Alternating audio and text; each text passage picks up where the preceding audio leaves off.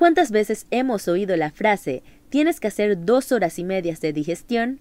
Hoy en el Gato Curioso te explicaremos. Las madres siempre han sido muy exageradas y muy creyentes en los típicos mitos en los que prácticamente todos caemos. ¿Es verdad que no podemos tener contacto con el agua mientras hacemos la digestión?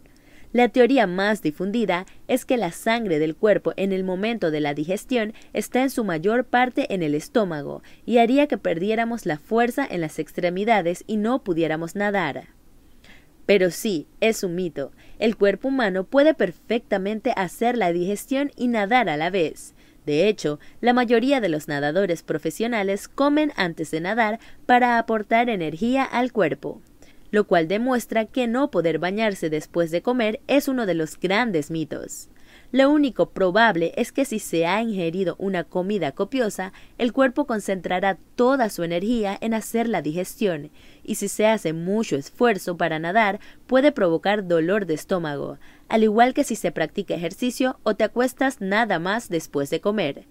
Este fue otro dato curioso del T10.